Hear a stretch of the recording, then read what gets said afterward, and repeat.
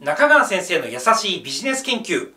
ビジネスパーソンのための経済学第9回。今回からは3回連続で市場の失敗という概念を説明していきたいと思います。なぜこの概念が重要なのかというと、これを理解すると皆さんはどういう状況で政府が経済活動に干渉すべきなのか、その基準を皆さんは得ることができるからなんですね。結局この市場メカニズムがうまく機能している限りにおいて、政府はわざわざそこに手を差し伸べる必要はないわけです。普通に民間でそれでうまく回っているのであるとすれば、政府がタッチすべきはまさにこの市場メカニズムに任せて、社会の幸せが達成されない時ということで、まあそうしたものの一例として今回は、負の外部性という代表的な市場の失敗について説明していきたいと思います。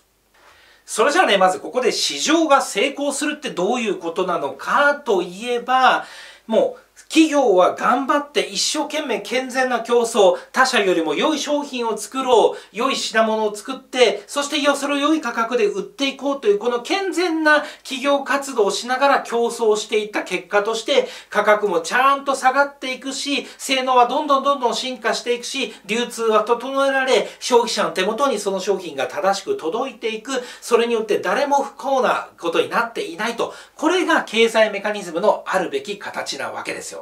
で、言ってしまえば、これがほっといても実現している限りにおいて、政府はわざわざそこにタッチする必要はないわけなんです。しかしなかなか現実ではそのようにはいかないことが多いわけなんですね。その典型例が今から紹介する負の外部性という問題。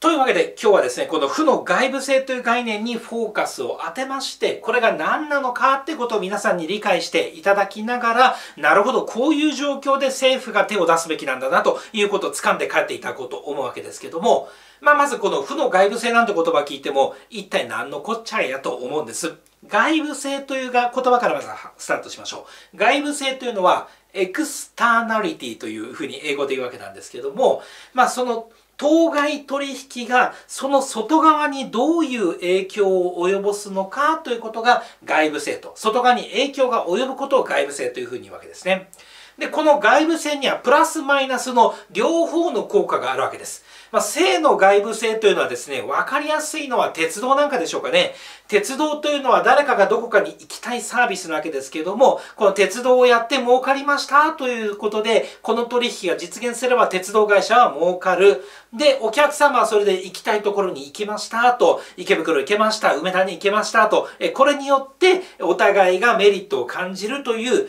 この当該取引者同士だけではなくて、鉄道が開通すると、それによって遠く遠方の人が、例えば東京に住んでる人が大阪にやってきて、大阪でビジネスができるようになりましたね、ということで、大阪経済に好影響がある。まあ、例えばそれは観光地に伸びましたということで、リニアだったりとか、北陸新幹線とかいろいろあるわけですけども、そういうのが延伸してくると、その地域に経済効果をもたらしますね、ということで、当該取引者間のみならず、それ以外のところにもプラスの影響が及びますね、なんていうのが、例えば交通インフラの取引なわけですよ。はたまた教育なんかもそうですね。教育サービスをやって収益を上げる人、教育サービスを受けて勉強できてよかったなという人のみならず、そうして非常にこう能力を高めた人々が地域に溢れてきますと、その地域からイノベーションが起こるようになったりですとか、その地域の人々が文化的に高い水準で暮らせるようになっていくということで、外部性が発生していくわけです。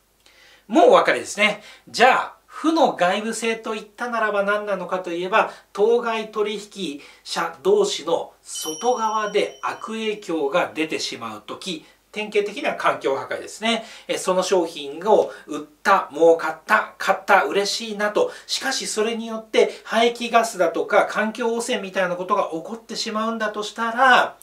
これを防ぐ手立てを考えなければ、結局、当該取引者間ではハッピーハッピーになったとしても、社会全体を見渡した時に社会の構成水準、まあ、平たく言えば幸せの総量は減ってしまうなんてことが起こるわけですよ。はたまた人権侵害ですよね。え例えば暴露ビジネスみたいなのあるじゃないですか。暴露をした人を儲かった、やったぜと。そして暴露を聞いた人、面白い情報を掴んだ、楽しいぜというところで、そこで誰か第三者に負の影響が及んでいると、こうしたものに対してタッチしなければいけないわけなんです。ただですよ、ここでもまだ政府が介入すべきステージじゃないんですね。まず最初に考えるべきことは、民間の対象者同士で何とか相談をして、まあ言ってしまう経済取引をしまして、着地を見出すことができれば、とりあえずこれで OK なわけですよね。例えばその人権侵害があったということに対して、その侵害したということを、の経済的損失を計算しまして、じゃあこの分ちゃんと慰謝料頂戴するよねという形で、こういう形である意味でまあ裁判所を返すんですけども、経済取引で決着ができたならば、あくまでこの経済メカニズムの中で、え損失を被った人にその損失の分が補填されて、経済的な配分が達成できましたねというふうに考えるわけです。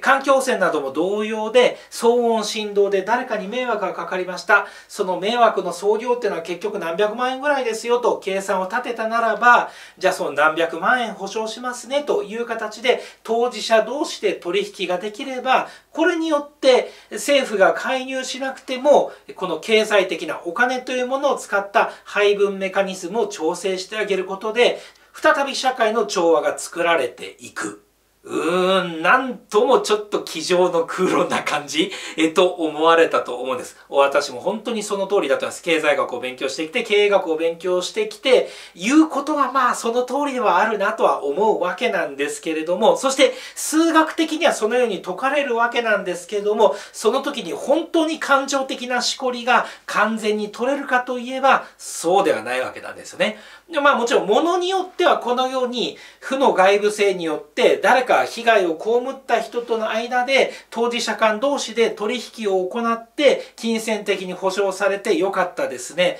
これで解決する状況も往々にしてあるわけなんですけども多くの場合は現実的にはなかなかそうは甘くないわけです。かくして、このステージでこそ政府が役割を発揮すべきだということになるわけです。まあ、法律的にそれ、そういった活動を規制を入れるということも一つですし、はたまた税金をかけるという形でそうした活動に対して一定の抑止力をかけていくと、こうした形で民間同士のやり取りでも感情的しこりが残る、きれいに解決できないような状況において、政府はここで初めて手を下すべきだというふうに考えられるわけです。まあ、例えば環境破壊みたいなケースですね。放っておくと排ガスなんかで環境が破壊されてしまうのであるとすると、それがどれくらいの影響度になるのかということを経済的に試算し、何百億ですっていうふうに試算されたならば、それを政府にこの排ガス排出についての税金を課すわけですね。